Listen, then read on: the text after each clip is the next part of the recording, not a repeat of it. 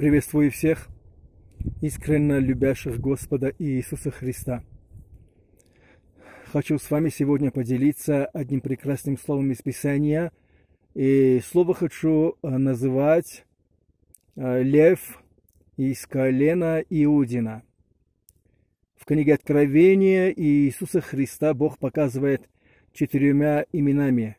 Это лев, телец, человек – орел.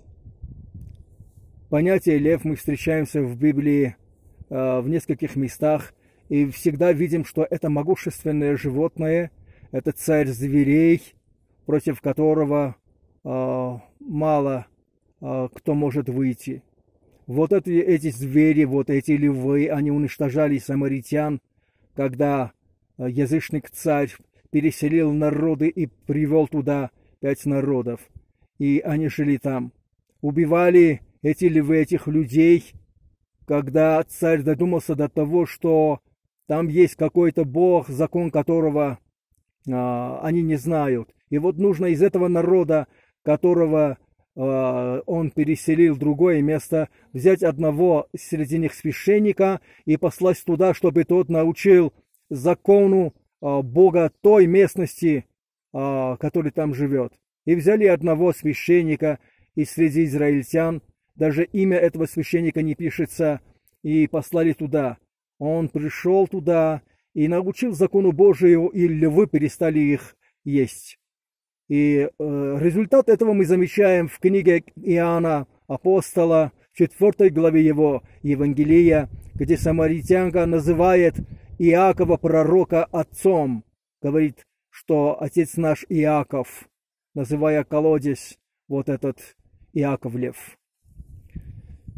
Еще замечаем, что был один пророк, который должен был покориться Богу и пойти обличить царя Иероваама. Это уже третье царство, 13 глава. И Бог дал ему такой наказ. По какой дороге пойдешь, по той дороге не обращайся. Куда ты пойдешь, там хлеба не кушай и воды не пей. И вот он был там обманут. Как бы этому человеку было по сердцу этот обман, и он не покорился Слову Божию, и покушал там, вернулся и попил. И на дороге замечаем, что появился лев. И лев не тронул осла, на котором он ездил. Он стоял и вот он только убил этого пророка, который не был послушан, не покорился Слову Божию. Потом его похоронили. Потом мы замечаем, что вот эти мощные животные, они покорялись таким великим могучим пророкам, как Самсон. Появился лев, Самсон просто подошел и разорвал его на части. Эти львы покорились Даниилу, Бог послал ангела своего, и тот закрыл пасть львам, и об этом однажды будет написан а, в книге евреям в 11 главе заграждали а, пасти львам. Вот так будет написано там про а, героев веры.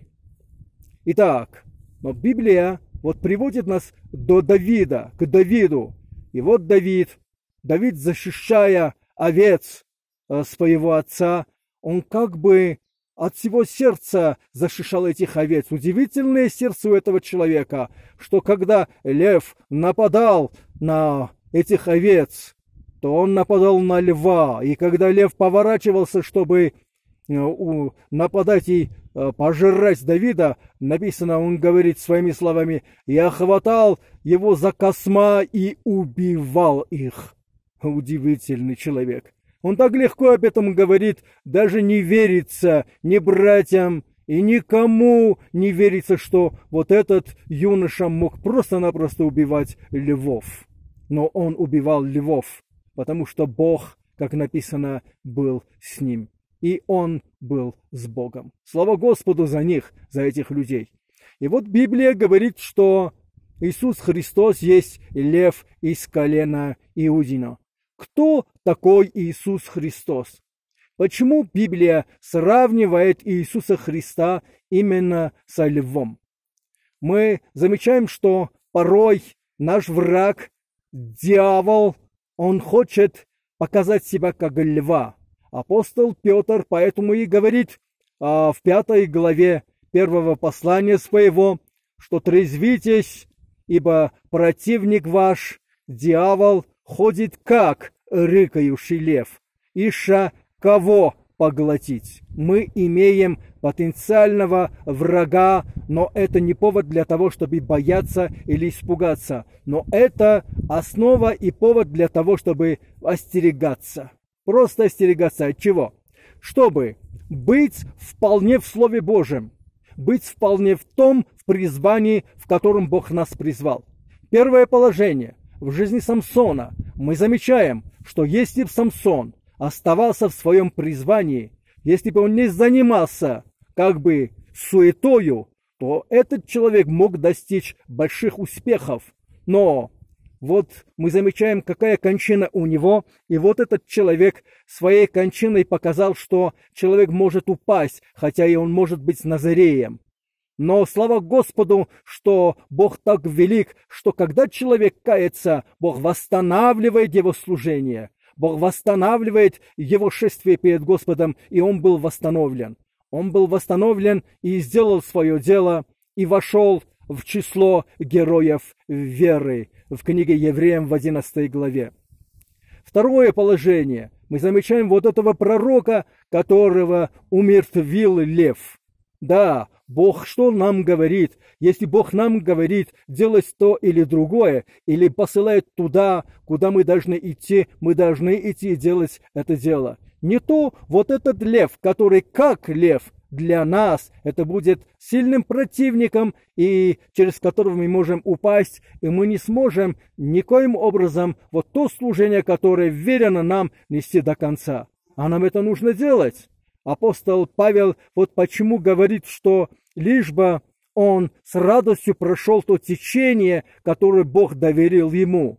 А Бог доверил ему то, что он должен был явить миру всему к его Сына Иисуса Христа он что делал полностью в своей жизни.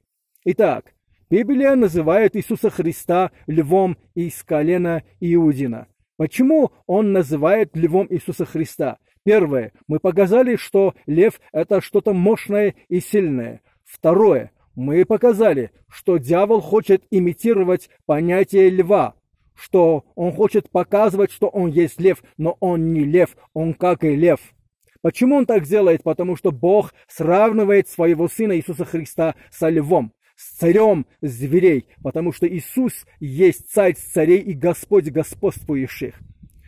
Что есть лев? Понятие лев. Лев – это могущество. Лев – это сила. И если в жизни нашей Иисус Христос показывает себя как льва, то есть Он показывает себя как мощного, могущественного защитника и спасителя – что Он может нас спасти от любого положения, от любых бедствий, от любых трудностей, от любых искушений, которые приходят к нам, чтобы искушать, чтобы испытать. Бог силен в нашей жизни этого делать. Нам нечего бояться, потому что наш Господь Иисус Христос – это лев из колена Иудина. Он могущественный. Первое, что когда Бог призывает нас, показывает свою мощь и свое могущество. Мы знакомимся с Богом как с бесконечным, безначальным, как со всемогущим, вездесущим, Он все знающим. Вот таким Богом мы знакомимся. И это есть лев из колена Иудина, Иисус Христос, воплощенный Бог, чтобы мы об этом знали. Второе положение мы жизни Иисуса Христа замечаем. Второе его имя – это Телец. Мы во всех жертвоприношениях, которые Бог когда-либо ожидал от людей, самое мощное, самое великое, самое большое, Он как бы видел, замечал и э, требовал это телец.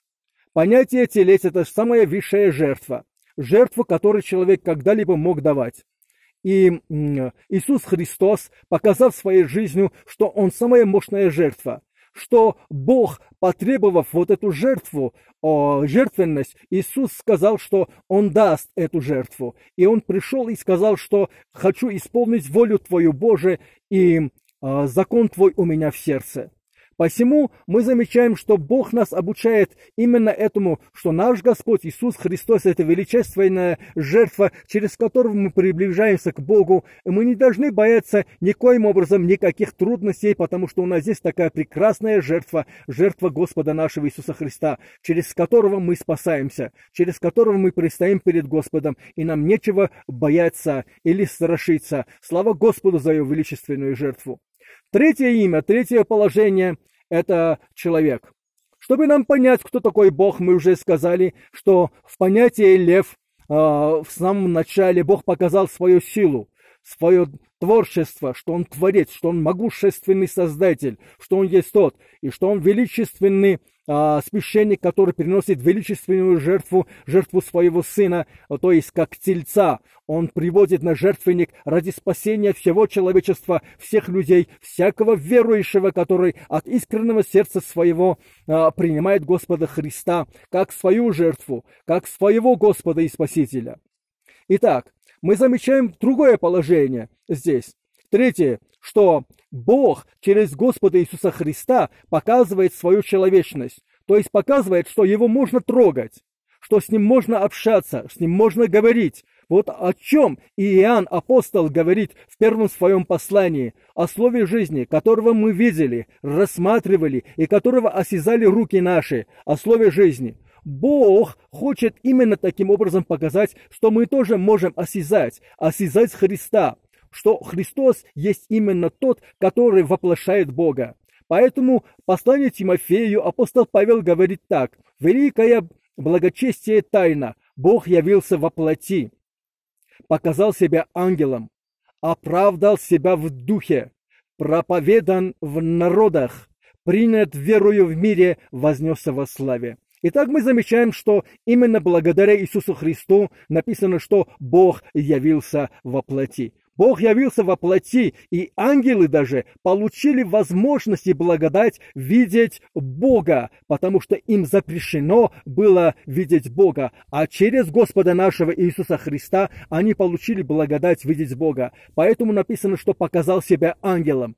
Это благодаря тому, что мне и тебе, мой дорогой друг, э, была дана вот эта величественная благодать через Господа Христа, вот так близко подходить к Богу, потому что Он пришел и назвал себя не кем-то, а назвал себя Сын Человеческий. Почему Христос себя называет Сыном Человеческим? Потому что когда мне и тебе открывает вот эту величественную тайну, тайну того, что кто такой Бог и как с Богом можно общаться, что это могущественный, сильный, этот Творец, любящий наш, нас, э, любящий человека, вот этот Творец, Он а, посылает своего сына как жертву, мощную, могущественную жертву, самую великую жертву. И вот эта жертва приходит и говорит, что он есть сын человеческий. Что это обозначает? Это обозначает, что Христос этим показывает, насколько Бог ценит свое творение, насколько Бог ценит человека, что человека он создал своим образом и своим подобием.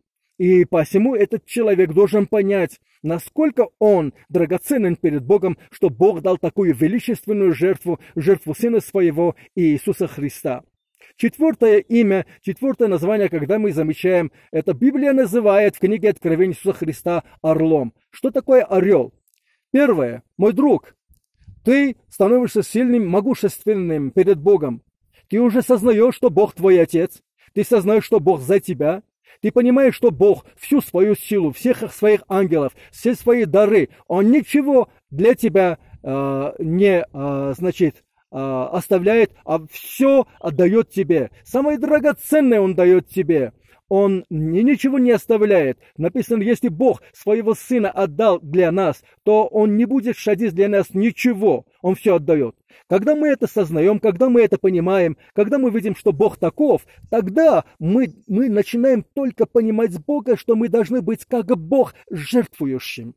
Если мы видим могущество Бога в нас, именно вот это могущество позволяет нам уже жертвовать перед Богом той жертвенностью, который Бог, которым Бог жертвует. А Бог жертвует самым дорогим, самым драгоценным, самую большую жертвою, потому что Иисус называет тельцом.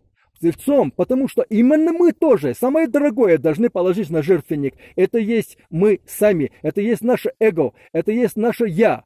Это есть наша личность, это мы сами должны быть на жертвеннике.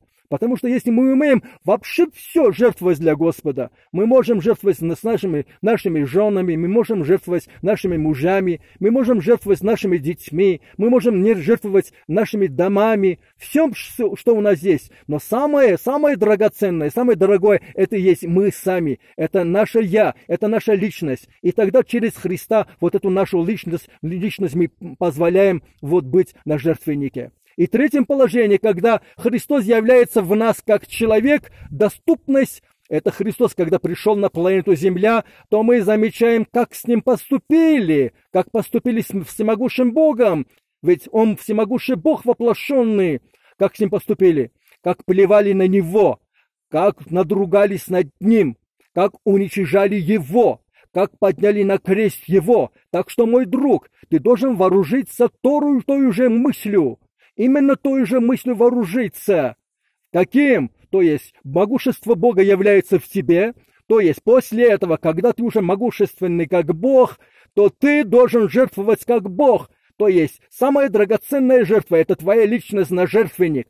Именно когда ты находишься на жертвеннике, доказательство и печать того, что ты жертва, а не жертвующий – что ты есть сам жертва. Бог допускает твою человечность под удар, под натиск, под присуд человеческих атак и всех, а, значит, а, всяких нападений и от всех сторон, от всех сторон, от видимых и невидимых сторон, самые близкие люди начинают предавать тебя, самые близкие люди начинают отдаляться от тебя, самые близкие люди оставляют тебя одного, как Иаков остался один. Он взял, он взял, Иаков взял всех, разделил по разным группам и постал перед собой. И написано, когда он остался один у перехода Иавока, то от, явился некто и боролся с ним.